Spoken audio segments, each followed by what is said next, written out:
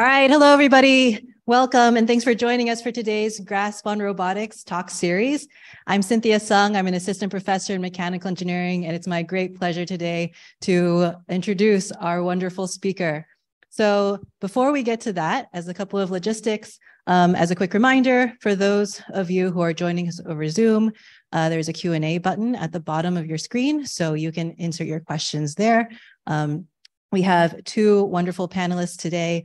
Uh, Jessica Weakly is a fifth year PhD student in mechanical engineering who is in my group, and Shavag Kevanian is a first year MEM PhD student uh, co advised by Nadia Figueroa and Michelle Johnson. And they will be helping us to monitor the chat um, and to manage questions both through the webinar and in person at the end of the talk. So feel free to raise your hand if you're here or put your questions in online. If you are going to miss any part of this talk or are interested in seeing future talks, all of our or, or previous talks that you missed, um, all of our talks are recorded and posted on our YouTube channel and on our website. So feel free to check those out. And with that, um, I'm excited to introduce our speaker, Professor Jeremy Brown. Professor Jeremy Brown is a is the John C. Malone Assistant Professor of Mechanical Engineering at Johns Hopkins. He is actually an alum of the GRASP Lab, was here previously as a postdoc in Katherine Kuchenbecker's group. Before that, did his PhD in mechanical engineering at the University of Michigan. He's done a lot of really interesting work in haptics and surgical robotics that he's going to be sharing with us today. And for this work, he's received a lot of awards, including the NSF Career, the Sloan Fellowship, and NSF CRII a grant, and many more. So please join me in welcoming Jeremy. Thank you so much for joining us today. Thank you. Thank you, Cynthia, for the introduction. Can you all hear me okay? I think the mic is on. Okay, perfect. Um, so thank you again, Cynthia, for the introduction and, and for inviting me here. Um, uh, so yeah, I, am going to talk a little bit about uh, the work that we've been doing in my lab, the uh, Haptics and Medical Robotics Laboratory uh, at Johns Hopkins um, uh, for the last couple of years. I realize that it has been quite a while since I've actually been back to Penn uh, in this auditorium. Um, in fact, I dug up an old image uh, from my first time here. Uh, this is actually, I think, the first day I started my postdoc uh, back in like 2014. Uh, I was so excited because I got actually a chance to like bike to work. Um, we used to live right over in uh, the grad hospital area. Um, and I uh, bought a bike specifically because I was coming to, I mean, coming to Penn and got a chance to, uh, you know, commute um, th- that way. Um, was really excited about it. So, in any case, um, it's been a while, um, but I'm happy to be back. Um, you know, I miss this place. I miss the buildings. I still remember somewhere uh, how to get myself around, although a lot has changed. Um, so in any case, before I get you know go any further, I do want to acknowledge um, that all the work that I have the privilege of talking about today, um, you know, is the product of all the students who've been in my lab, either past uh, or present right now. Um, and so I just want to acknowledge their hard work and effort that I sort of have the pleasure of being able to talk about. I think it was Dan who said this, or it may have been Costas. I can't remember. When I was a when I was a postdoc here, where they had this panel session on like for uh, for postdocs and, and PhD students about where do you want to go after you finish your degree? Do you want to go into industry? Do you want to go into academia? Um, and I'm pretty sure Dan, it was you that said, you know, if you go into academia, you have to realize that the most important thing that you do is produce students. Um, and I took that to heart, and I think that is actually probably the most fulfilling job part of my career um, uh, is seeing students and mentoring students and watch them go through the maturation process of becoming independent scientists. Okay, um, so uh, a lot of my work sort of starts with this understanding that our hands in particular um, are used to enable dexterous manipulation. Um, and we use our hands uh, to do dex manip dexterous manipulation for a number of tasks um, that uh, can be related to, you know, sort of everyday activities of daily living, brushing your teeth, tying your shoes, uh, you know, it can be related to work, um, also could be related to pleasure um, and sort of what we do for fun. Um, you know, what's how we sort of what enables this dexterous manipulation is, um, you know, we start with commands centrally in the brain uh, that send uh, signals that we uh, call efferent signals, you know, from the brain out to the periphery that cause the muscles to contract, the limbs to move. Um, at the same time, we've got a suite of sensors embedded in the limbs themselves that take uh, sort of event uh, information from the environment back to our body. We refer to these as our afferent signals. Um, and that's actually what the focus of all my research is on is this afferent pathway, in particular, the haptic sensory uh, afferent pathway. Um, when we think about um, you know what this uh, uh, information provides, it, it, gives us information about things like the texture of objects, the weight of objects, the contour of objects, the shape of objects, uh, and we use that information sort of in a closed loop control fashion to be able to manipulate uh, and, and uh, our own body and our um, the environment when we come in contact with it. Uh, this haptic information is, information is extremely important, extremely useful. Um, and I've taken this example here of striking a match to sort of, you know, drive this home. What I'm going to show you is a set of videos, very old. You might have already seen them. They come from the lab of Roland Johansson, um, who does a lot of work, uh, a lot of seminal work in neuroscience, motor control. Uh, and what you're going to see in this first video is a participant taking a match out of a matchbox and striking it. Um, pretty straightforward.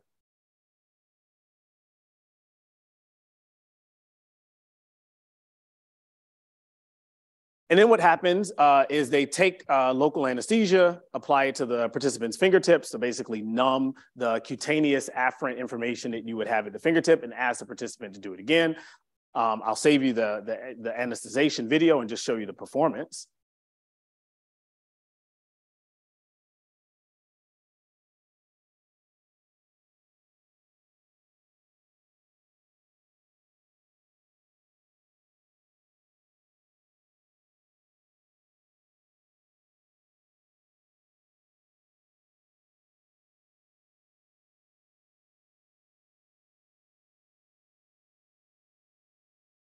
All right. Painful to watch, right? Uh, you know, I, I, think sort of two takeaways from this. Uh, the first is that, I mean, the, the difference in performance is night and day. Um, uh, the second thing is that they were still actually able to accomplish the task. Um, and that's largely because they did not take away vision right? And they did not take away what we call proprioception, which is my ability to know where my body is at any given time, right?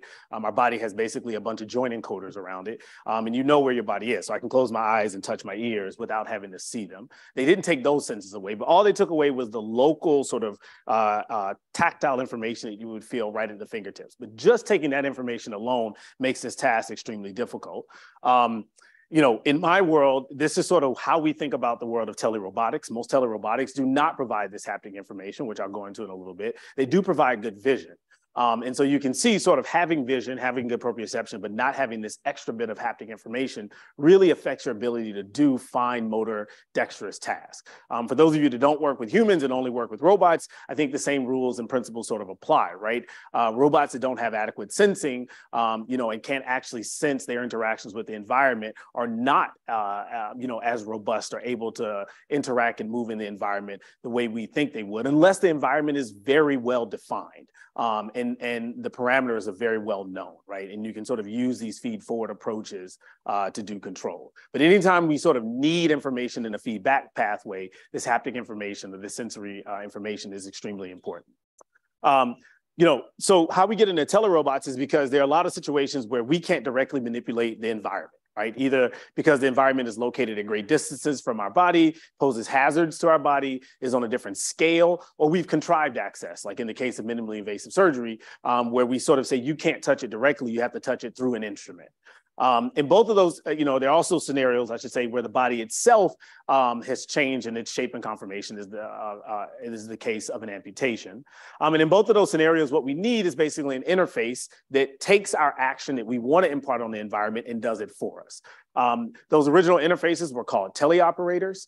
Um, uh, and the way they work in the original formation, the ones that were created by uh, um, Goertz uh, in the early 50s and 60s to be able to do manipulation of radioactive material, um, is they were all mechanical, kinematically redundant linkage systems, right? And so because of that sort of cable-driven linkage system, you had good one-to-one mapping between what we call the leader side, where the uh, operator sits, and the follower side, where the end effector is. Um, and and that cable system also allowed this really nice haptic reflection. So anything that happened in the environment side got passed through the cable linking system and you could feel it uh, on the operator side. Um, so it has this inherent haptic feedback.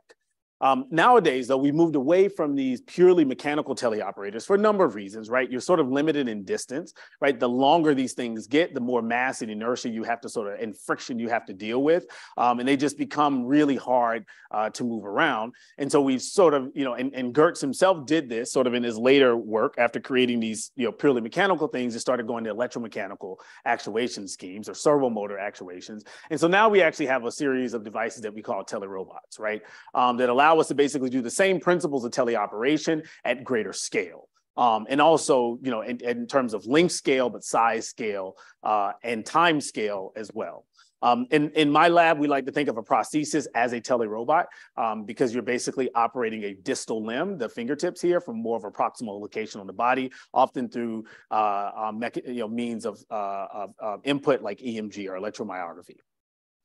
Um, in either case, when we think about telerobots, right, um, because we've got really good ways of sort of inferring intent or allowing users to control the input to the device, and we've got great sensor suites on these devices, we can do really good one-to-one mapping between input and output, right? Uh, the Da Vinci, uh, um, you know, is sort of an example of that, right? Really good mapping on the forward path. Because of all of this, you know, these sensors, we know what's going on, or we can measure for most of the times what's going on between the robot and the environment. The problem is that that information oftentimes does not get passed back to the operator, at least not haptically. Um, if anything is passed back, it's visual, and that's generally the predominant means by which operators are actually able to manipulate uh, through a teleoperator, a telerobotic scheme. Um, and so what my lab focuses in on is how do we add these haptic interfaces back in, or how do we understand what is the right type of haptic information that we want to add back in to allow the operator to be able to close this loop and therefore do dexterous manipulation again. Um, so we sort of work on three, I call them model telerobotic systems. I should say maybe two model telerobotic systems in my lab, upper limb prostheses, uh, as well as minimally invasive surgical robots. And then um, we also do a lot of work in my lab on just kind of fundamental haptic perception. Um, you know, sort of our, of our three main senses that we use to manipulate the, in the environment, you know, vision, audition, and haptics. Haptics is the one that we still understand the least. Uh, a couple of reasons for that. Haptics is the one you typically don't lose, right, unless it's the result of traumatic injury in some way. There is some age-related uh, decline in haptic sensation like one would see in vision and audition, but not to the same degree. Uh, and so, um, you know, also haptics is just a really hard sense to sort of stimulate. When you think about vision and audition, they are both very centralized um, and they rely on one type of sensor, right? You have two eyes that see everything that there is to see. You have two ears that hear everything that sort of can be heard within the, the auditory spectrum. With haptics, you basically have a suite of sensors um, and they're highly specialized, right? I have certain sensors called Pacinian corpuscles that tell me about vibration and their only job is to tell me about vibration. So every time you feel your cell phone ring, know that that is one sensor in your body, right at the um, uh, the the dermis layer of the skin, basically saying something is vibrating, right? Um, and it has a certain frequency band. Um, I have certain sensors that tell me about stretch on the skin.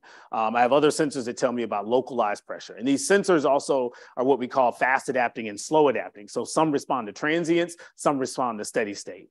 Um, and so trying to stimulate this suite of sensors becomes a really technically challenging problem.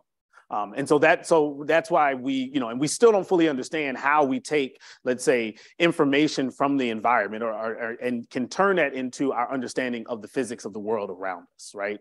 Uh, and so that's uh, my lab also works in that space as well Okay, so I'll start with the upper limb prosthetics work that we've been doing. Most of the work that you see here um, is a uh, is was done by my uh, former PhD student and postdoc, Dr. Neha Thomas, um, who's now at the Johns Hopkins Applied Physics Laboratory, um, you know, um, um, full time.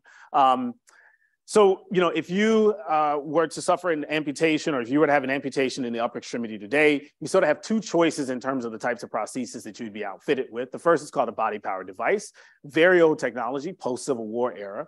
Um, and it basically operates like that uh, um, original teleoperator. There's a shoulder harness that you wear. There's a Bowden cable that connects the shoulder harness to a what we call prehensor or a prosthetic hand. Oftentimes it looks like a hook. Um, and that hand has a spring that either holds it closed or holds it open. And by acting and pulling on the cable, you're basically acting against that spring to cause the prehensile action. Um, the other device is a myoelectric prosthesis, um, uses uh, electromyography, so getting the electrical uh, sort of signal from the muscles as they, as they fire, amplifying that and using that to drive a motorized prosthesis. Um, what's you know the the benefit of uh, myoelectric devices is that you can get increased degrees of freedom now. You can control you know individual articulation of the fingers, wrist rotation, and things like that. What you lose is the haptic information. Um, so there's no haptic feedback in these myoelectric uh, prostheses like there is in the body power devices because you've got this inherent mechanical linkage between the input and the output. Um, so, you know, it has been shown, you know, in, in my lab, um, you know, when I was a, a grad student um, at Michigan um, as well, that when you add haptic information into a myoelectric prosthesis, you get performance benefit gains, right? People can do tasks they wouldn't be able to do or do tasks better than they would be able to do without the haptic information. Um, so what uh, uh, you know what uh, Neha started to ask is, well, sort of at what cost does this increased task performance come with? Um, and so we begin to say, okay, now let's look at task performance. So if I give you an object and I want you to tell me uh, let's say how stiff this object is, right? You need this haptic information. You need to be able to have grip force information to know the stiffness of the object, right? Because stiffness is sort of force over displacement. Um, and so, uh, um, you know, if I give you, uh, let's say three objects of different stiffnesses and I say sort them, right? You're able to do this task much better when you have haptic information. But we begin to say now at what cognitive cost does this increased task performance come with? Uh, and so the work that you're seeing here, it was actually done in collaboration with my colleague, uh, Dr. Hassan Ayaz, who's actually a professor at, at Drexel University right uh, um, down the street, um, who does a lot of neuroimaging. And the particular type of neuroimaging that we're gonna, that we were using is called functional near infrared spectroscopy, which basically looks at the prefrontal cortex, um, and due to principles of neurovascular coupling, when you, you know, sort of, uh, when more blood flows towards the prefrontal cortex, you get more oxygen flowing as well, um, sort of to maintain metabolic rates. Uh, and you can look at that and the amount of oxygen and deoxygenated uh, hemoglobin um, in the blood to basically say someone is thinking harder, there's more cognitive effort or more cognitive load. Um, and the particular, let's say, computation or metric that we're using here is called neural efficiency. Um, many of you are probably familiar with efficiencies, like things like cost of transport, like how much energy does it take to move a certain distance. Here, we're thinking neurally efficient in terms of how much energy mentally does it take for a given amount of task performance, right? Um, so we're looking at task performance over the computational cost or the computational load of achieving that performance, right? Very similar to how one might think about sort of computation from, you know, a, a computer, right? What is the computational power over the energy consumption that it takes to be able to give you that computational power? So good neural efficiency here means really high task performance, really low cognitive effort. Bad neural efficiency in this case would be really low task performance, really high cognitive effort. So we had a very simple experiment. I sort of alluded to it, right? If I give you objects of different stiffnesses, and you can see them in the top right half corner here, um, we had three sort of uh, silicon objects that uh, basically all we did was mix different ratios of Ecoflex, dragon skin, things like that. So it looks the same, but they actually are different stiffnesses when you touch them. Um, and the experiment was very simple. Um, we basically asked participants to squeeze. It's called a two alternative forced choice paradigm. We give you two objects, right? Object one, object two. We ask you to squeeze them, and then we ask you which of the two was stiffer. Very simple experiment, uh, sort of what we call a psychophysics or psychometric uh, experimental paradigm.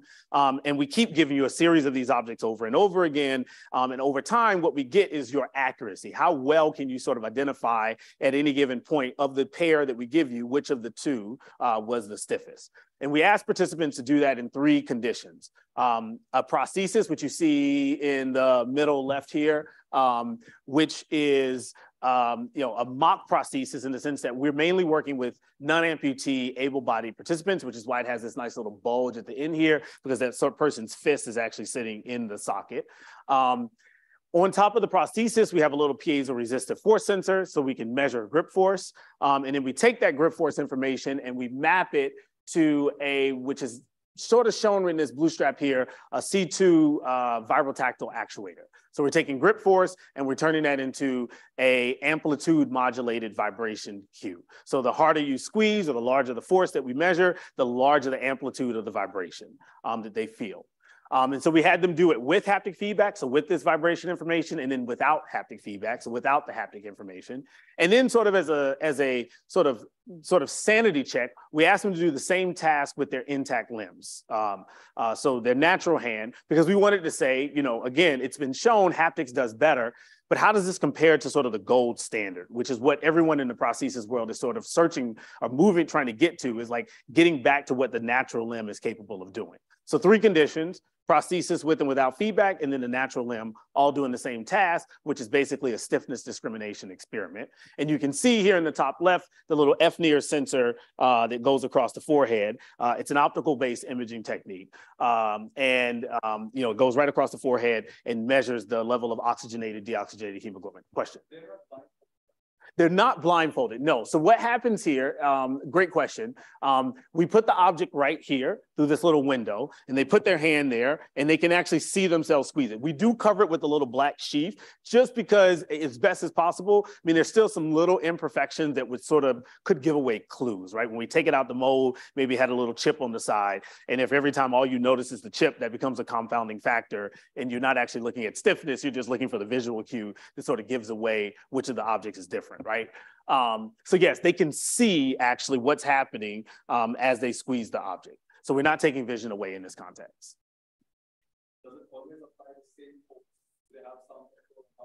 Oh yeah, sorry, great question. So this is all EMG control. So they are controlling the aperture. We basically take EMG, map that to velocity of the um, actuator, which basically this is a this is a um, it's sort of a it's a body powered style device because we've got a Bowden cable here. What you can't see um, is that that Bowden cable is actually connected to a linear actuator. So we take their EMG, we map it to a linear actuator that pulls on the cable like the shoulder harness would pull in the body power case, but we've sort of rigged it up in the EMG fashion. So they have direct control over the aperture of the prosthesis. Yeah, so they're controlling displacement, what they're getting back, and the haptic feedback is force. So ideally, they should be able to get stiffness information out if you know the displacement and you measure the force or you feel the force through the vibration. Great questions. Um, so what we found, um, again, I, remind you that we sort of used the standard EcoFlex stiffness uh, um, that was available to us. Turns out they're not, you know, they're not spaced, you know, sort of equally apart. We had three objects. We called them soft, medium, hard. Um, some of them are actually closer in stiffness than the other. And that's why we got this sort of trimodal distribution in our results uh, because some of the pairs were harder to, to distinguish than others. So I'm going to focus in on the one that was the hardest to distinguish, and that was the soft medium. That's what SM stands for. Um, you got a soft object, you got the medium object. Those were the two that were actually closest together in terms of their stiffness. And so what we see basically um, is that if you start, if you go from the left to the right, the left solid blue line here is the natural limb, right? So they're doing it with their hand and it's sort of what we expect, right? The hand is perfect. Every time you get the soft and the medium, you're able to distinguish the two. Um, and so no errors really in terms of being able to do it with your natural hand. Um, I'll jump the middle one and go to the yellow polka dot here. This is the case where we don't have any haptic uh, feedback. So they're using the prosthesis to do the task. Um, no information about force. They do, again, maybe have a little bit of visual cues, but basically we find that it's around the guessing rate, right? It's a two alternative forced choice task. So you've got a 50-50 shot of getting it right. And by and large, we find that they are about 50% accurate. They're, they're generally guessing which of the two is the stiffer maybe with some informed guessing because of some of the like incidental visual cues that may be available, right? We also didn't mask auditory cues either, right? So you could hear the motor moving back and forth we sort of wanted to mimic what a you know sort of real life uh, prosthesis scenario is, and we know that amputees or prosthesis wearers use visual and auditory cues all the time to sort of supplant the lack of haptic information. We didn't want to mask that. Um, so around guessing is what is what we found. But when we add the haptic information back in, which is this like maroon wavy chevron pattern, we see that they actually get better, significantly better than the case without haptic information. Still significantly worse than the natural limb, right? So we're not getting, you know, we're not as good as the natural limb yet, right? Still some errors, um, but significantly better than the no haptic condition. This result by itself, again, not novel. Others have shown similar results in similar tasks. Haptics does better when it comes to task performance. So then we said, okay, now what is the computational cost? Um, and that's what you see right here. And again, I'll focus just on the soft medium combination. And what you're looking at is the delta. So we take a baseline measure of mental activity before they did the task. And then we took a, a, measure after they sort of made their guess, right? So we wanted to see what was the change in mental activity between the time that we said go and the time that they said, this is the stiffer object. Um, and what we basically found um, is that in the natural limb, again, solid blue here, that uh, um, the you know sort of the delta is basically zero, right? There's no cognitive load to sort of do this task. So you get perfect accuracy with the natural limb and basically no change in cognitive load, right? Um, makes a lot of sense. We use our hands all the time. We do stiffness discrimination throughout the entire day, right? Just based on our priors, we're really good at tasks like this. When you don't have the haptic information, again, the yellow polka dot here, um, you, very, you, get a very large delta, right? Um, and so this sort of goes to this argument that we think they are trying to guess, right? They're trying to take these incidental visual cues, incidental auditory cues, and try as best as possible to piece together this storyline around which one they think is harder, right? If they just randomly guessed and did not care about the task, I would sort of expect their cognitive load effort to actually be pretty low, right? Because they're not actually putting any thought into it, but they are putting thought into it. And what, you know, and so what we remember remember is that they're getting about 50% of the time they're getting it right, and it's taking a lot of mental effort to get it at 50%. When you add the haptic information back in around force, we get a significant drop off in that cognitive load, that delta. Still nowhere near as good as the natural limb, but significantly better than the case without uh, the, um, the haptic feedback. And so, sort of the takeaway storyline from this is when you look at cognitive effort, um, what you find is that our neural efficiency, um, what you find is that the intact limb, solid blue, the natural hand, is the most neurally efficient, right? You get really good task performance with low cognitive, you know, sort of cost. Um, the uh, um, the prosthesis without feedback is the most neurally inefficient, right? Not really great task performance, really bad cognitive effort. And the reason it goes below zero here uh, is basically because what we're doing, the calculation for neural efficiency is basically taking the z-score of your task performance minus the z-score of your cognitive effort metric. And in this case, the cognitive effort metric is so large compared to the minimal gain in task performance that you actually get, you know, sort of negative efficiency here. Um, it, you know, sort of the gain are really bad for the amount of mental effort that it actually takes to do the task. When you add the haptic information back in, you start to get this positive efficiency again, much better than the case without haptic information, still significantly worse than the natural limb, but we're heading in the right direction. Something about this haptic information is allowing us to do really good task performance and is sort of allowing us to do it without the overhead of computational cost that it would take to do it without.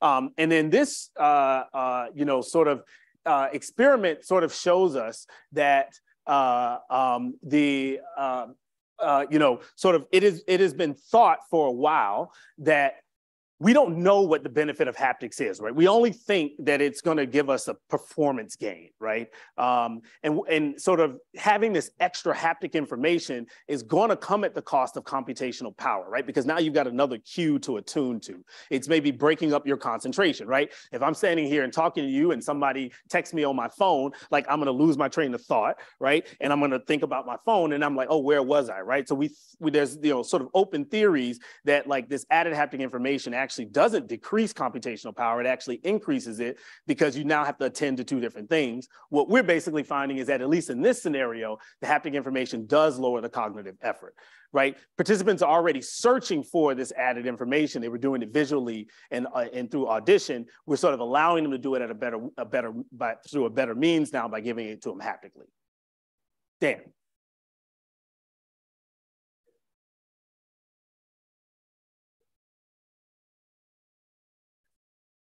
That's a good question, right? So, um, you know, Dan's question: if we had the FNIRS tuned to different anatomical features, or maybe we were looking in different parts of the brain, right?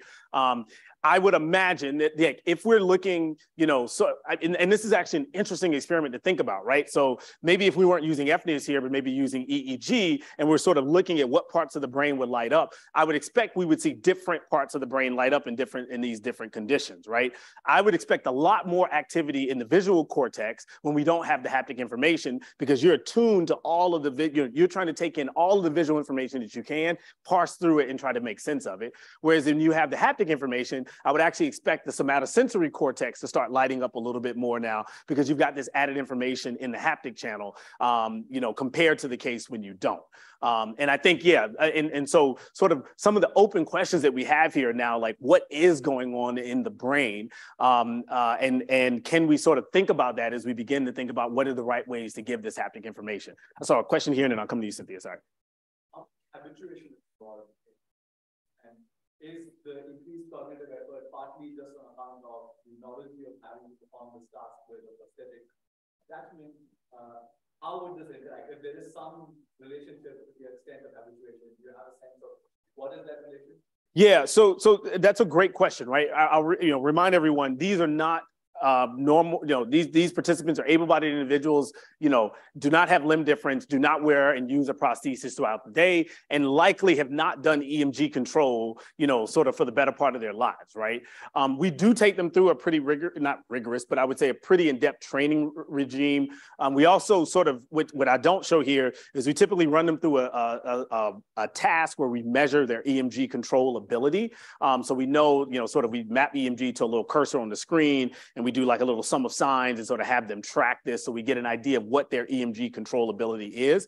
But it is not, EMG is sort of a non-intuitive, right? Thinking, you know, this means close the hand, this means open the hand, right? It, it takes some getting used to. So I think there, you know, some of the higher cognitive effort that you see, I imagine some of it has to do with the novelty of the of the experimental apparatus that we're putting them in if we were to sort of test them day after day after day after day, I would expect in both cases performance to go up and uh, you know, cognitive effort to go down, right? You know, if we, if we invited a, a, a, set of participants, and I'll show you an experiment where we're getting close to that, of actual prosthesis users, I bet they would be able to do the task much better because they've gotten really good at attuning to these other incidental cues, right? You hear the motor start to bind on your prosthesis, right? You know about, you know, you can sort of use that cue to sort of figure out how stiff the object actually is or how much force the, the motor is actually exerting. And I would expect differences in performance in what we found here. So I agree, habituation actually is a big component that I'm not having, a, I don't have the data to actually talk about in this context.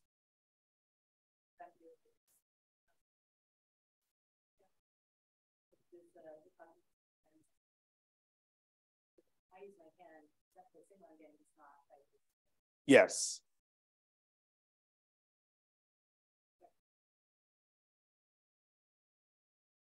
Yeah, that's another great question, right? Um, if I, let's say, took their vibration and I mapped it to something like there's this device called the Rice Rocker, which basically uses skin stretch on the surface of the skin, or I mapped it to another. I mean, could be interesting. You know, another interesting question is, let's say I don't even map it to haptics. I put it, you know, I put it as a little like bar that goes up and down on the screen, right? Um, very interesting paradigm that I think would um, sort of give us differences in cognitive effort. I think in the, so my theory is as long as we stay in the haptic domain, I would still expect to see lower cognitive effort than if we're doing something, vision is very cognitively demanding, right? So anytime you're trying to get visual information, right, you're already increasing the visual effort just because of the vision is just a very cognitive uh, uh, sensory modality to begin with.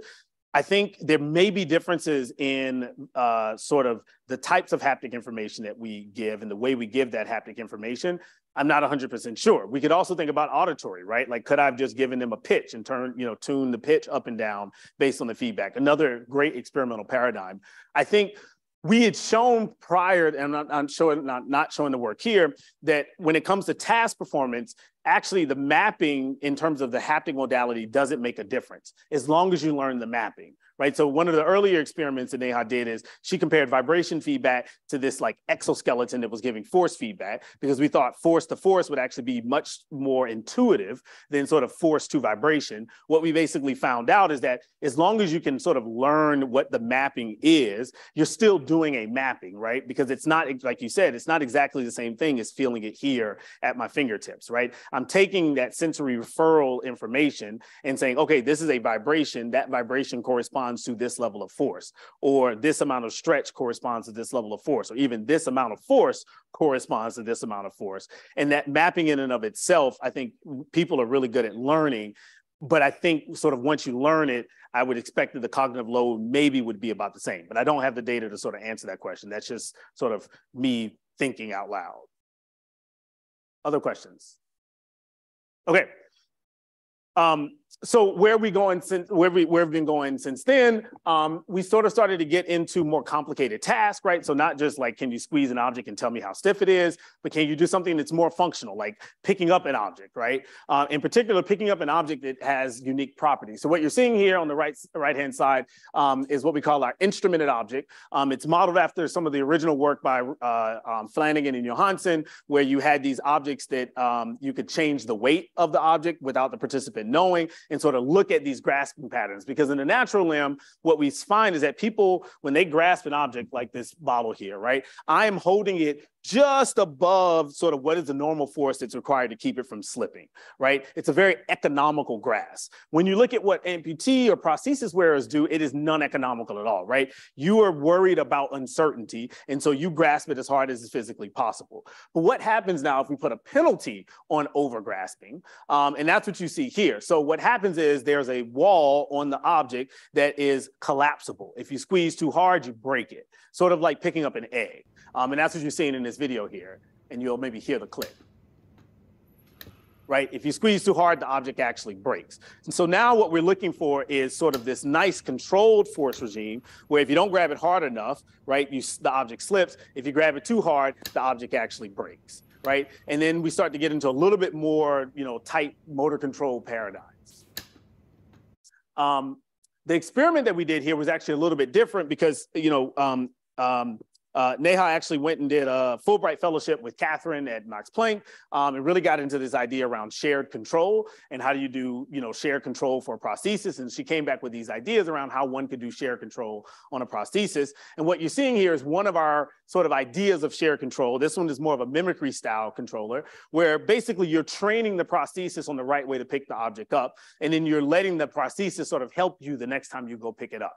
Um, and that's what you're seeing in this experiment, right? So you have to go grab the object, excuse me, and if you're successful, the prosthesis learns sort of what was the grasp force that allowed you to be successful, such that the next time you go grab the object, it sort of tries to replay that back for you still under your control. I can turn it on and off at will. When I go grab it and train it, I'm getting the same haptic information now about grip force. So you still have to learn what the right grip force is, but you don't have to do it you know, over and over again. And so we had an experiment where we said, okay, with this new style of like what we call haptic shared control, um, you know, are, do you get performance benefits in this case, um, you know, in terms of how many times you can successfully pick the object up and put it back down without it slipping and or breaking?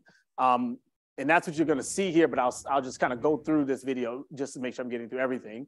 Um, sorry, I'll back up. We're also still doing FNIRS imaging here because we want to look at neural efficiency again, so cognitive effort. What happens now when you offload part of the task to the, uh, um, you know, what happens when you offload part of the task to, let's say, an autonomous controller on the prosthesis as opposed to having it being completely under volitional control. Um, and so we want to know what happens in that context. Um, what I'm going to quickly show you in the in the charts here, sorry. Um, the task again was how many times can you successfully pick the object up and put it down without it breaking or without it dropping. Um, the two charts that you're looking at, the one on the left here is basically showing you what were the chances of you successfully lifting the object um, in the different conditions here. Again, we had a condition without haptic feedback, um, a condition with just haptic feedback. So remember, just like the first experiment I showed, all we're doing is taking the force information and mapping it to a vibration. And then in the third condition, what you see is the haptic share control is the one that I talked about with the autonomous controller. So you've got this added benefit now that the autonomy will kick in once you start doing the task really well and start aiding you in doing the task sort of trial after trial after trial. And what we basically see is that in the haptic share control condition, where you have this sort of human autonomy collaboration going on, you actually get better task performance out.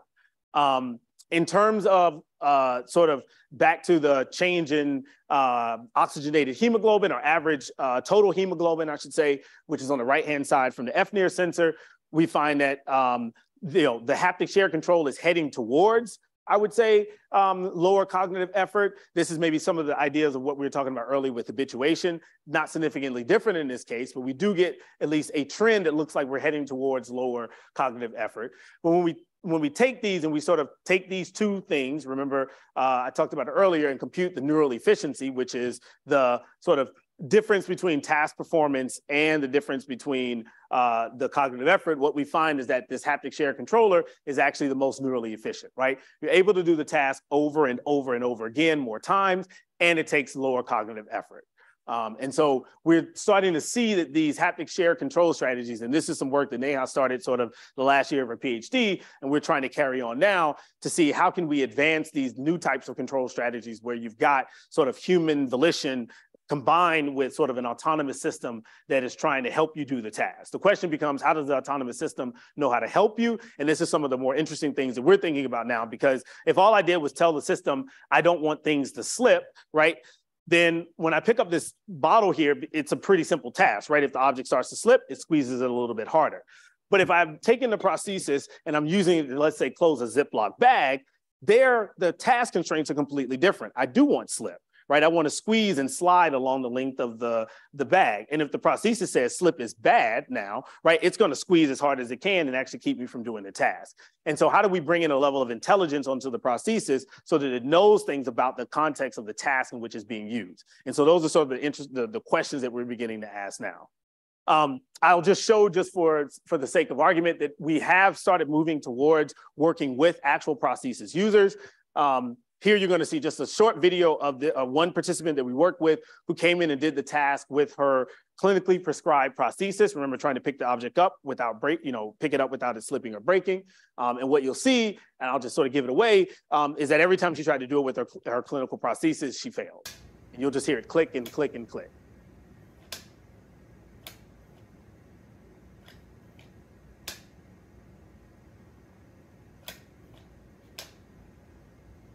Right, and to remind you, clicking is bad. I mean, she's basically breaking the, the, the break threshold for the object. So if it were an egg, right, every time she grabbed it, the egg would, would, would crack open um, and you get yolk everywhere, right?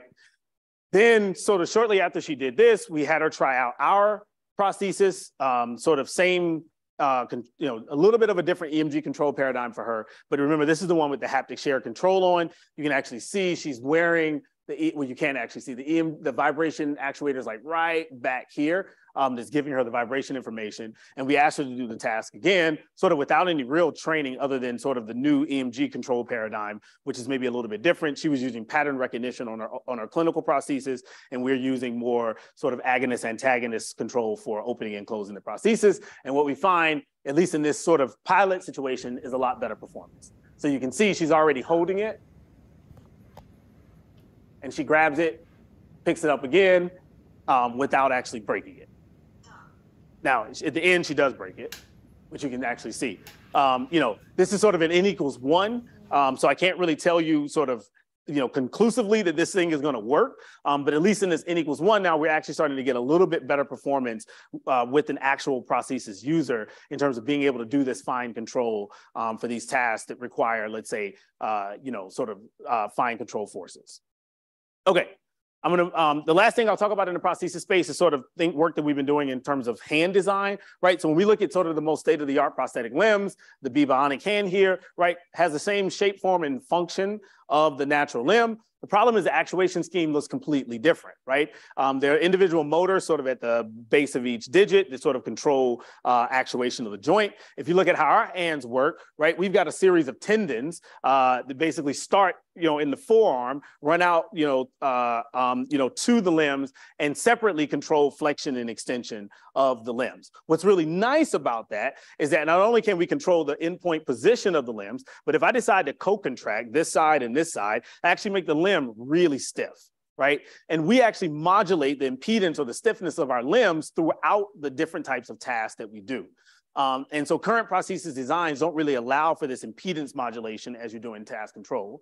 So I had a student, um, you know, build sort of what uh, our first sort of working prototype of what we call an agonist antagonist or anthropomorphically driven prosthesis controller, where we've got separate tendons running to do flexion and extension using these little motors that are embedded at the back of the socket. Um, and what you'll see here is sort of just a, uh, you know, a working example of how this thing operates.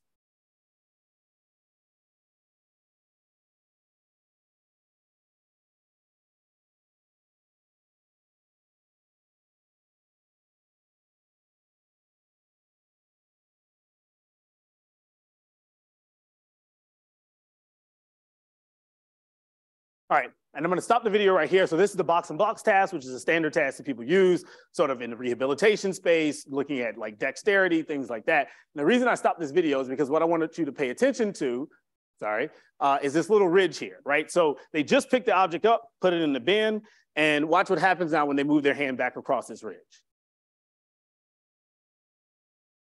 Right? The, the prosthesis, if you caught it, went from a very high impedance state, right, of holding the object. And the minute they released it, it went into a very low impedance state and basically dragged the fingers over the ridge. Had this been a commercial prosthesis, they would have taken the whole thing with them, right? Uh, because you're not modulating impedance of the limbs at the same time.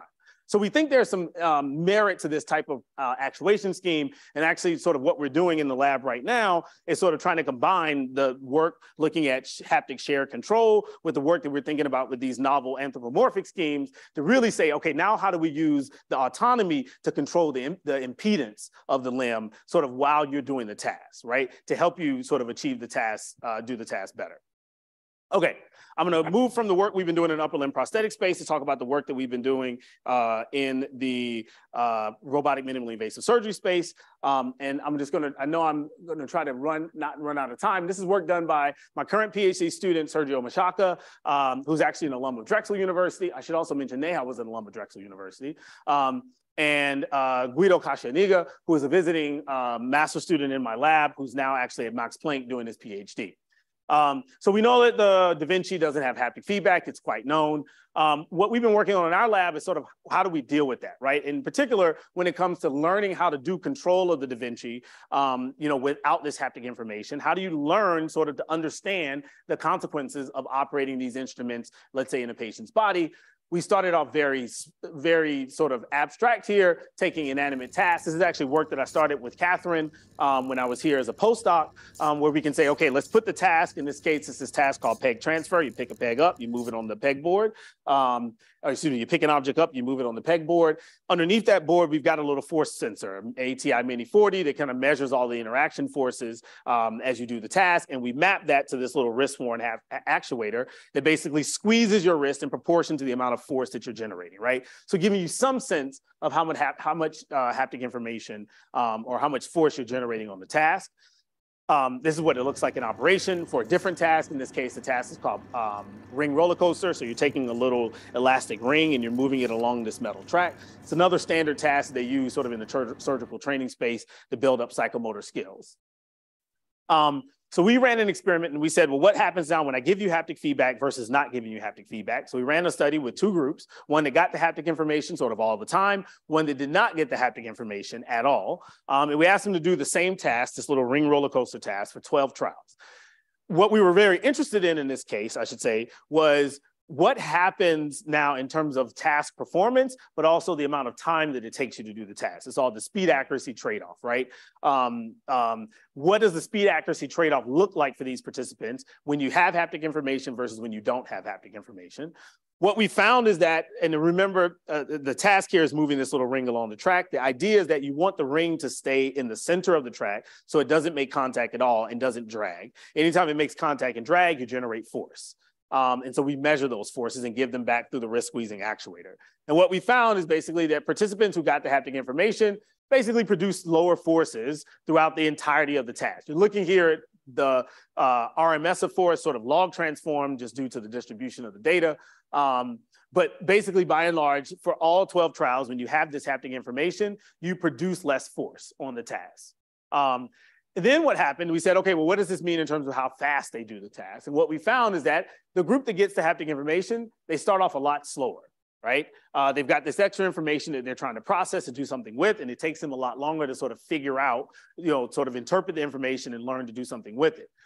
But over the course of the 12 trials, they actually get faster, um, so much so that they actually, their, when we looked at their rate of, let's say, uh, completion time, how fast they got faster, they actually did it at, significant, at a significantly faster rate than the group that did not, right? Um, so while they started off slower, um, by the end of just 12 trials, and each of these trials lasted a anywhere from 30 seconds to a minute. Um, so, you know, no more than about 15 minutes in, they'd already learned how to process this haptic information and use it sort of to their advantage. Because remember, they're also the same time as they're getting faster, they're not actually, you know, doing anything in terms of producing more force than the other group. Okay. Um, some of the other things that we've been doing in the, in the surgical robotic space is looking at how surgical training is done. Um, when you look sort of clinically, it's done two ways, either in the VR environment, right? They have a lot of VR trainers that help surgeons, um, or on the actual robot itself. The robot itself is sort of considered the gold standard. Um, and we begin to ask the question, do, oops, are these two things the same, right? Is training in the VR environment the same thing as training in the real world? Right? I'm a mechanical engineer. I think there's something inherently interesting about the physics of touching things and, and coming into contact with things. So I sort of hypothesized that they may not be the same. And we ran this experiment where Guido um, came up with this task. It's a needle driving task. So you take a surgical needle and you drive it through these three rings. Um, and if you deviate from the ideal trajectory, right, we could measure that. He basically took like 3D space mouse, hacked them open, and created these little sensors that can tell deflection. Um, and we would map that to a little ring of LEDs that would visually tell you how the uh, each of the little uh, rings was deforming. What was really cool is that he did this task by creating both a physical and a virtual analog. We have what's called the Da Vinci Research Kit uh, at Hopkins, which is an open source robot based off largely off the Da Vinci platform. So we can sort of create virtual environments. And so he basically, to size and scale, created a physical and virtual analog of the exact same task. And that's what you'll see in this video here. So same input, which you see in the middle, going to either the physical task on the right-hand side or the virtual task uh, on the left-hand side.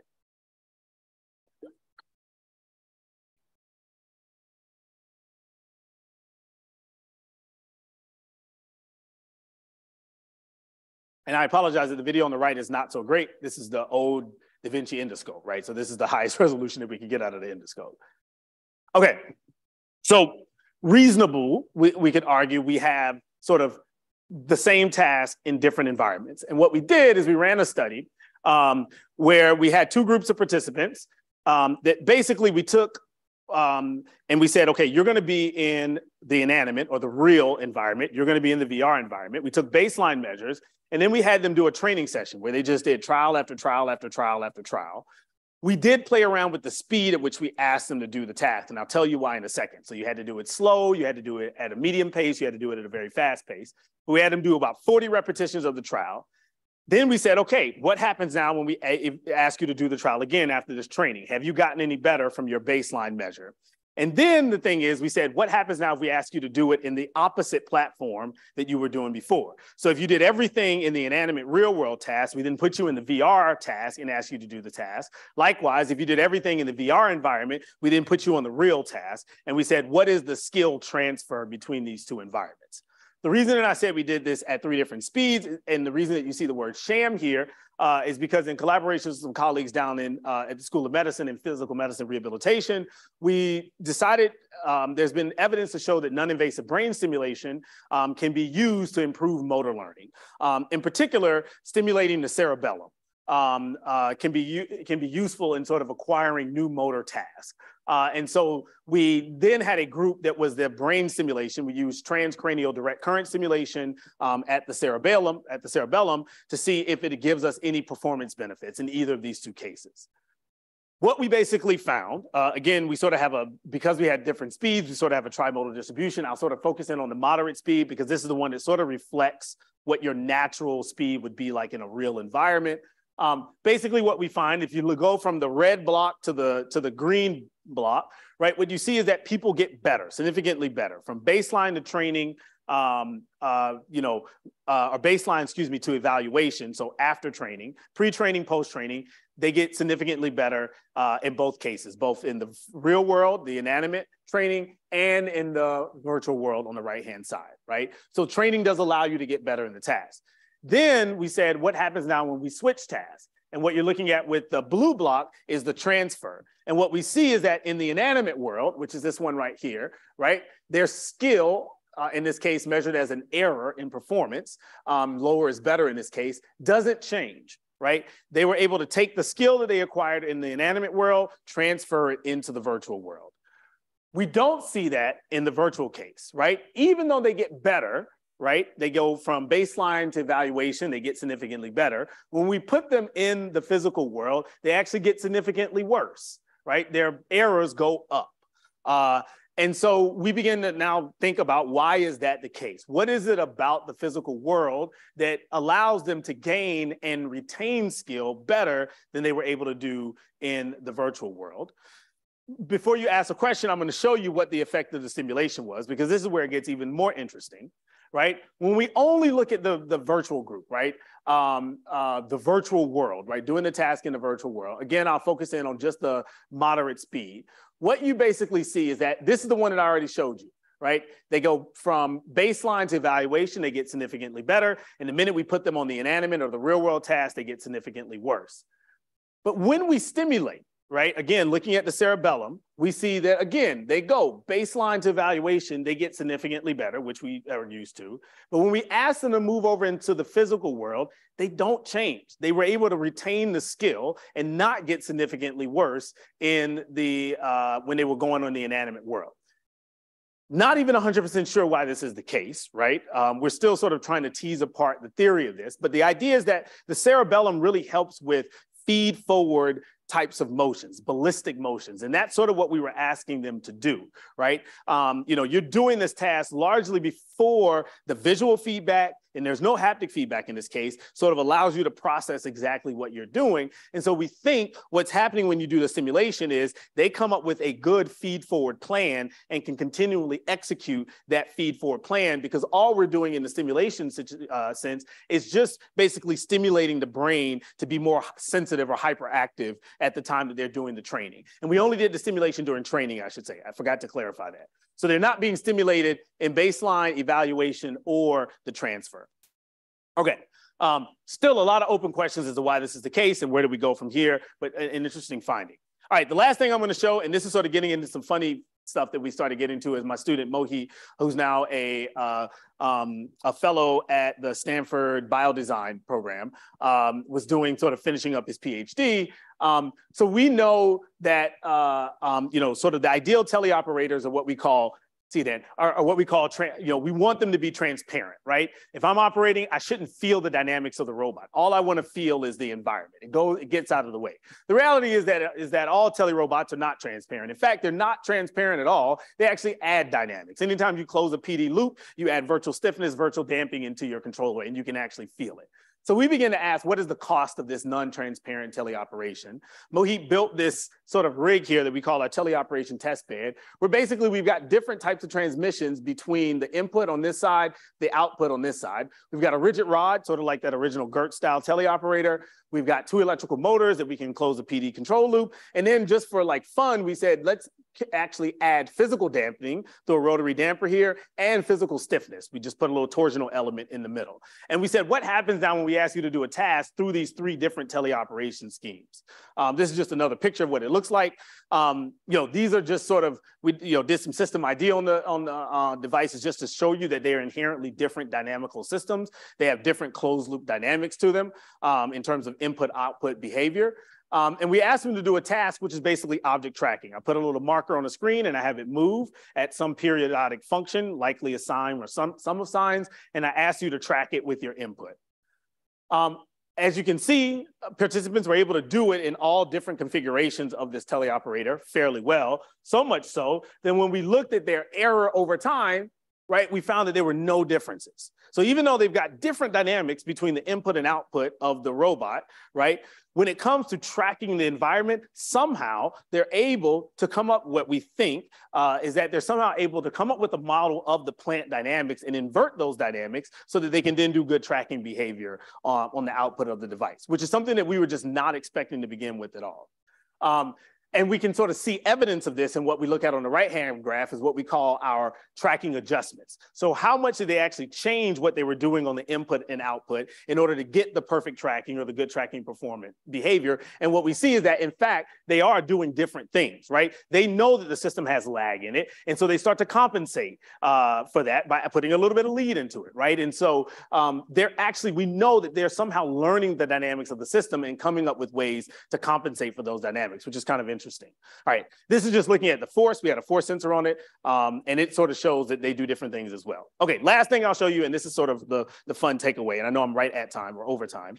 This is called the mirror illusion right? Basically, I put a mirror in front of you, I have you look in the mirror, and I have you simultaneously tap your fingers. if I start with your hands far apart, and I have you look in the mirror. So let's imagine the mirror is here, and I have this hand over here. As you start to tap, this phenomenon called proprioceptive drift occurs, where you begin to think about your hand actually spatially equidistance across the mirror, even though physically it's over here. The visual information is creating a conflict with your proprioceptive information, and you're beginning to trust vision more right? So you say, I know my, I mean, technically my sensors are telling me my hand is here. Visually, though, I see my hand here. I think my hand is actually more here. It's a phenomenon. You know, a lot of papers have looked at this proprioceptive drift. This is another illusion called the, oops, sorry, called the rubber hand illusion, where if I simultaneously stroke your hand and another hand and it, that happens to be rubber in front of you, as long as you can't see your hand and you think this rubber hand anatomically looks like it's in the right position as your hand, you begin to think about that hand as being part of your body. Um, you can go look at YouTube videos. They like people take it to the extreme. They'll like do the stroking, and it has to be the simultaneous stroking. They'll take a knife out, right? And people jump back, you know, with their thinking that their real hand is about to get stabbed. Um, another sort of recorded phenomena in the literature. We begin to say, what happens now if I take the synchronous brush strokes from the uh, the rubber hand illusion, right, which allows me to embody the rubber hand, put a mirror in between it, does it allow me now to, re- to embody the reflected hand and actually come up with this idea of artificial brushstrokes? So feeling brushstrokes that actually aren't present. Okay, um, this is what our setup looks like. I'll just sort of run through it really quickly. Basically, we have two little servos that have brushes on them that come in and stroke the length of your finger over time. And we can control when they come in in contact and how they stroke. And that's what you'll see here. And you'll hear the participant. We have three conditions that you'll hear. That's the case where the one on this side, the left-hand side doesn't do anything, then it taps, and then it actually strokes. Stroke. Okay, so what we did is we had this nothing case, this tap case, the stroke case. Nothing means the motor on the left doesn't do anything. Tap means it just brings the brush in contact and taps the base of the finger and lets it go. Stroke means it comes in contact and it strokes along the length of the finger. The right hand is always doing the exact same thing. It's just stroking the entire time. And so we asked participants to do it. Again, I'll show you here. So you have to tell me what you feel on your left hand, either nothing. So this is what's happening. A stroke left or a tap. The right hand is doing the same thing over and over again. Nothing. She's saying nothing. She's saying tap. And now she's saying stroke, right? Sort of makes sense, right? Nothing, tap, stroke. Then we uncovered the mirror in between. So they're looking here at the reflection of this hand, um, which is equal distance from this hand actually over here, and we do the exact same experiment. Same instructions again? She said nothing. She said a light stroke. A light stroke. A light stroke. And this goes on and on and on, right? We're never stroking the finger, we're only tapping it, right? Um, but we've created this visual haptic conflict. And the way that she resolves it is by saying it's not a full stroke, it's a light stroke, right? Um, and so then we begin to, we sort of quantified this by coming up with a measure that's sort of like the proprioceptive drift, where we basically said, tell us the furthest distance along the length of your finger where you felt something. Um, and what you see is that in the case where we have the mirror cover, which is called baseline right here, everybody basically says, I felt the, I felt the brush at the base of my finger, right? Every single time the mirror is covered, everybody says it's touching right here. The minute that we uncover the mirror and we ask you to tell us the distance along the length of your finger where you felt the brush, we get something that is much greater, significantly greater uh, for all of our participants than what we found in the baseline condition right? Um, so something, and I can tell you, someone who knows what the illusion is, right, and having sat down at the table, it is one that even though you know you're being fooled, you cannot deny that something about seeing the brushstroke in the mirror and getting this sort of what we call a haptic confirmation of at least something touching you, you feel this sort of brushing effect along the length of your finger, even though physically you know it's not actually brushing you. Um, and I've tried. I've sat at this thing while Mohit was doing it, and I've been like, you know, I, for a while I was like, okay, well, tell me when you actually turn on the illusion. He's like, oh, the illusion's been going, right? Um, you know, it is a strong illusion, and and and so I don't know where we, you know, sort of ideas that we have about this is that what it's kind of telling us is that if I can create a convincing enough visual uh, uh, cue for you, and give you a little bit of a haptic confirmation. It doesn't be the, have to be the actual haptic thing that you would normally feel. It's just enough to convince you that what you're seeing in the visual world actually exists. Very similar to how people do the like targeted redirected walking, right? Where I can put on a VR headset and have you follow a wall that's actually curved, but because I show you it's straight, you think it's a straight wall, right? Um, the same thing sort of exists in this space as well. We're sort of making you sort of deny what you haptically want to feel because the vision is telling you something that feels so salient. Okay, with that, I will stop. I know I'm over time. I apologize. Um, and I will sort of take whatever questions uh, uh, you have. So thank you.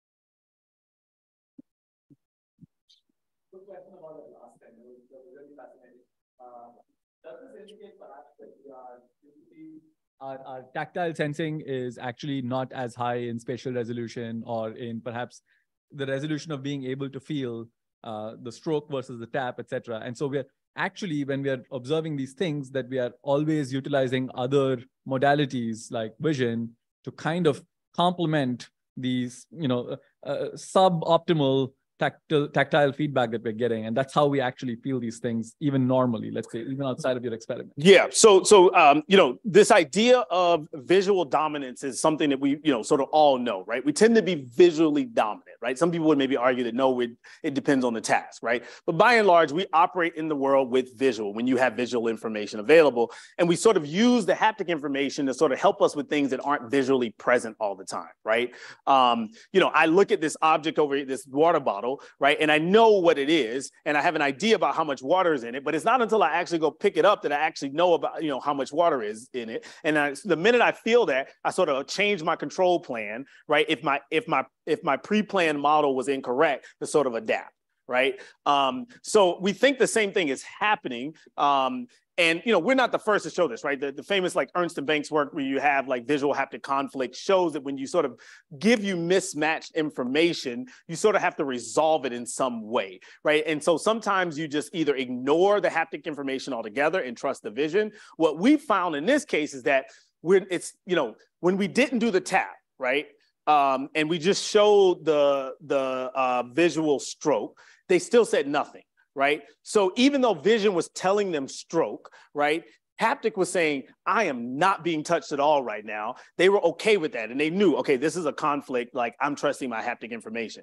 But the minute we gave them something that was maybe somewhat congruent with what they were seeing, it created enough conflict that what we think ends up happening is when you have these conflicts, you just want to make sense of the world. And the best way you can make sense of the world is to say, this is not the same thing as the full stroke condition. This is another condition that we call the light stroke condition, right? Uh, and and it happened so much so that what we did what we did and i'm not even i didn't show you the data is we sort of this we sort of um, we said how long does this effect last right so if anybody's ever gone let's say skiing or roller skating, you know, the minute you get out of your skis and out of your roller skates, you have this like weird sensation, like you're still sort of gliding across the floor, right? Um, your sort of, your gait has sort of like adapted to this new motor control paradigm that you sort of still feel like you're kind of skating. And we said, does that illusion still happen? And so what we did after we did the illusion is we turned it off and then asked them, we sort of primed it again, turned it off and said, what do you feel? And what we found is that we got this decaying effect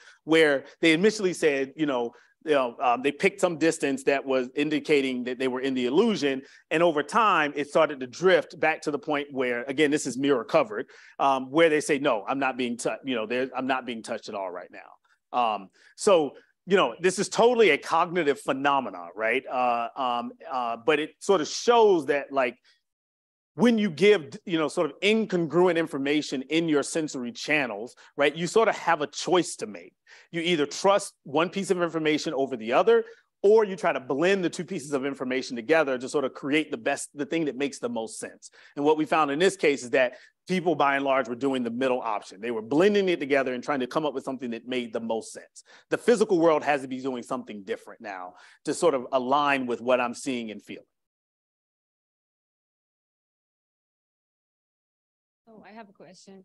Um, in human beings, uh, the actuators and the sensors for haptic is in the same place, right? Sometimes, for some of them, uh, not all of them. But keep going with your question. Um, is is it what happens with the um Da Vinci robot? That the actuators and sensors are in the same place? Uh, on the hand or on the robot? Sorry.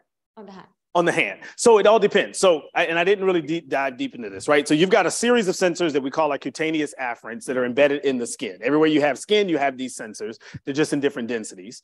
You've also got sensors embedded in the musculoskeletal system that give us information. So you've got these organs called Golgi tendons um, and the muscle spindles, which are actually embedded in the muscles themselves that act like encoders that tell you how the muscle is stretching. And you've got Golgi tendons, which sit between the tendon and the bone that basically act like strain gauges to tell you how much load is being applied to the muscle. Um, so when you grab, let's say, an object, right, and you squeeze it really hard, part of the information you're getting right at the fingertips, but the other part of the information you're getting is actually back here. Um, but one could say it's co-located because the actuator is actually located back here, right? At the fingertip, the actuator is actually not here. It's just a tendon that runs up to here. The actuator is actually located uh, in the forearm. Um, so it's sort of a yes and no. Um, but go with the, the question about the Da Vinci. I was thinking about um, people about um, amputees uh, who still has one hand. Mm-hmm. Cannot can't we do what happens in um, in Da Vinci robot on the other hand? I mean, uh, uh, like a teleoperation between the hands. And uh, I mean, instead of mapping between force and vibration, um, their brain kind of maps between force to force. The Yeah. way that they used to learn the haptic feedback in through years. I mean, So, so that's actually that's a great question, and that's actually somewhat how the body power prosthesis works, right? So when you think about the body power prosthesis that has a shoulder harness, you're actually it's not you know sort of this hand to this hand, but it's this part of the body, right? It's the shoulder motion that's controlling the opening and closing of the hand, such that when I grab something, right, I don't feel it here, I actually feel it as the resistance in the shoulder right? And that's a good example of how you can sort of do this referral of information where it's like force that you would normally feel here, you would actually feel here. We've thought, and actually, when I was a grad student, we played around with this idea of doing sort of this bilateral, using the sort of intact limb to substitute for the missing information on the on the on the amputated side it has its pros in that you're sort of using the intact system, right? And you're sort of mapping, like you said, force to force it sort of has its cons in terms of like functionality, right? Because if I'm doing a task where this hand wants to do one thing and this hand needs to do something else, I'm sort of getting two pieces of information for this hand that I'm trying to close the loop on, you know, even though action is still on this side of the body. Um, but I think, you know, sort of where I think the prosthetic, the prosthesis world is actually going, um, and there's a lot of work in this space, is actually looking by tapping directly into the nervous system, right? Um, you know, sort of what they call peripheral nerve interfaces, and they're also thinking about doing it in the brain. The problem that they're running into right now, by and large, is that we don't know how to send the information in a sort of naturalistic way. Like we can deliver spike trains, I can tap into the nerve and I can send spikes down the nerve, and people will say, "Oh, it feels some, I feel something," but it sort of feels like a tingling or a buzzing. And so, you know, in my world, you know, sort of, I, I think the, the BCI community or the, the, the peripheral nerve interface community is sort of like, well, what do we do? Because it says it feels like a buzz. In my world, we're like, well, everything sort of feels like a buzz. Like we buzz you for just about anything. And but buzzing is not a bad thing as long as you can sort of take that buzz, interpret it, and do something with it, right? Like, you know, with my phone in my pocket, I know if I'm getting a text message, I know if I'm getting a call, I know if I'm getting an alert from my ring doorbell just based on how the buzz works, right? Um, you know, and we sort of have learned to encode this information sort of in a natural way um, and you know ascribe meaning to it. And I think the same thing is happening when you talk about these artificial sensations.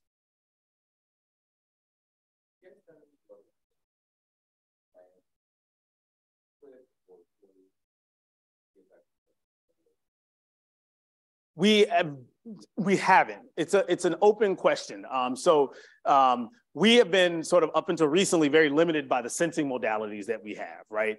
Um, there's been sort of a revolution in sort of the sensing that is available now for like hands and things like that. A lot of it driven by the robotics community trying to, you know, build hands that can do manipulation and things like that. And we sort of have the advantage of now having better sensors at our disposal. Um, one of which is things like slip, right? Uh, slip is a big problem, right? So grip force only tells you how hard you're squeezing, but we know that like the, you know, and what's interesting about slip is that it's what I almost call a reflexive loop, right? If I'm grabbing an object and it starts to slip, I squeeze tighter before I even recognize that the object was actually slipping. Same thing like with, you know, you touch a hot stove, you jump back before the burning sensation actually reaches your brain.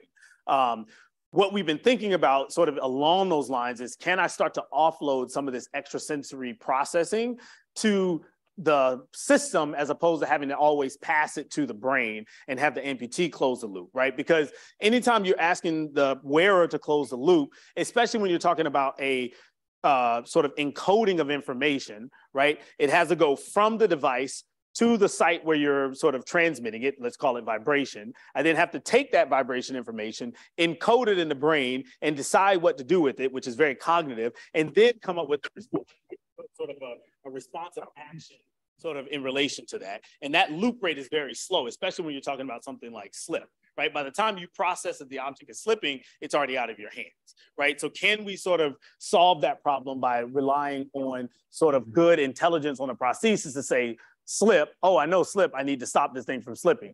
The problem comes in sort of with what I talked about before, slip may not always be a bad problem depending on the task, right? Uh, you know, if I'm winding up the cable, right, as I pack up, right, and I'm tying up my cable, I actually want slip, right? If I'm looping my cable around to tighten it up, I actually want local slip. So the problem is you can't just say like, for all cases of slip, do X. It needs to be for all cases of slip in task Y, do Z right? And so we need to get prostheses that are more intelligent to know what is the task Y that I'm doing so that I know how to take the slip information in and do the appropriate uh, like responsive action. You offload that control. That's what we think. Now, in an ideal world, you wouldn't have to offload it, right? If you could perfectly tap into the periphery of the nerve, nervous system, right, and give that information to the same channels that we naturally do with our natural limb, I don't think you would have to do this offloading. I mean, our bodies do this offloading all the time, right? I have high level processing and I have very low level processing. The problem is right now, I think what we my thought is leave the amputee or the wearer in the loop to let them do the high level volitional processing and offload some of the low level processing to the system. Okay, we're gonna take the last question. Okay. Well, actually, I'll get yours after it. yeah, you just sort of started answering the question I was going Okay. to ask anyway. But I guess I'm curious about these scenarios where I guess I'm really interested in these these particular scenarios where you want like a prosthesis to give the user basically as much volitional control as you can and ultimately you would love for them to have very high dimensional volitional control and so i'm worried i'm i'm curious if you've thought about sort of feedback of higher dimensional signals. Um I, it seems like most of i think it seems like there's a lot of research to be done just looking at these sort of you know one one dimensional vibration coming back or something like that. But i'm curious as you have you have you experimented with sort of you know multiple vibrations meaning different things? Or i guess you said not not so much simultaneous proprioceptive and tactile but but things in that space. Yeah, um, I, I, I maybe I, I thought I had a slide that I could show you. Yeah, so um, I didn't have a chance to show this uh, in the, in the time, but we have right. We started to play around a little bit with this idea that you've got both volitional loops and you've got reflexive loops, um, and we uh, Neha came up with this prosthesis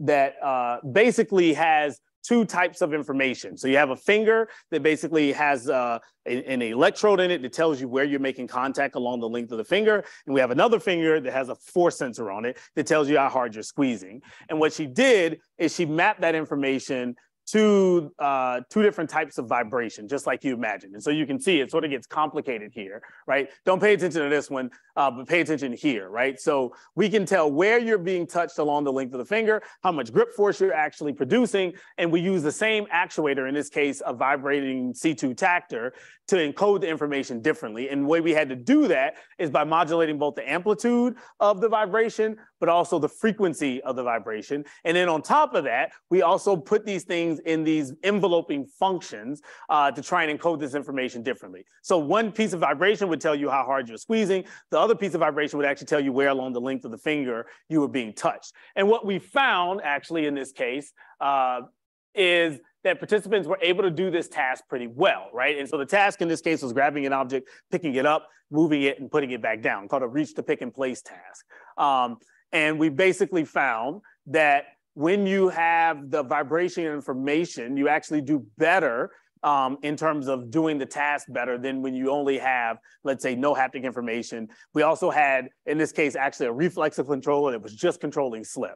Um, so this is another form of this shared control now where you've got slip detection going on, and you've also got uh, you know haptic information that's encoding where you're being touched and how hard you're squeezing. I think there are going to be limits though, right? You know, like trying to process this is still an information processing challenge, right? And as long as we're using referral of haptic information, we're going to reach sort of computational limits. If I'm giving you five things that are telling you five pieces of information, you know, sort of five orthogonal pieces of information, right? Um, it's going to take you a while to process each sort of stream and figure out what to do with it. I think the more you do a task, the better off you get, right? You think about, you know, someone that plays like an instrument or something like that, and their ability to coordinate information coming in. I think the brain can adapt. It's plastic enough where it could learn it. Will it get us exactly what the natural limb is doing? No. Will it get better than sort of these single streams of pieces of information? I think so. And can we then think about what is the most important information to give at any given time? Then we can sort of break the time, the problem down sort of temporally and say, I don't need to give you all five pieces of information at, at a time. I only need to give you this piece of information right now. And once you've achieved this part of the task, then I start giving you that piece of information. Once you've achieved that part of the task, then I give you this one. Oh, you slipped. Okay, I'm going to give you this information again because I know you need to go back and restart. And if we can think about sort of breaking a task down into what is the most important information that you need to achieve task success at that given time, then we can begin to think about how we take this like high dimensional problem and break it down into sort of low dimensional sort of segments, uh, you know, along the way. All right, thank you very much for a very interesting talk. Um, everyone, please help me in thanking uh, Dr. Jeremy Brown again. Thank you. If any of you do have more follow-up questions, uh, Professor Brown will be joining uh, students up uh, on the fourth floor Levine uh, Grasp Lab for lunch. So feel free to join him there. There's pizza outside. Um, as an announcement, next Friday, our Grasp on Robotics uh, speaker will be Professor Jitendra Malik from UC Berkeley. If you want more information about that talk or any of the other parts of their series, uh, you can check out our website.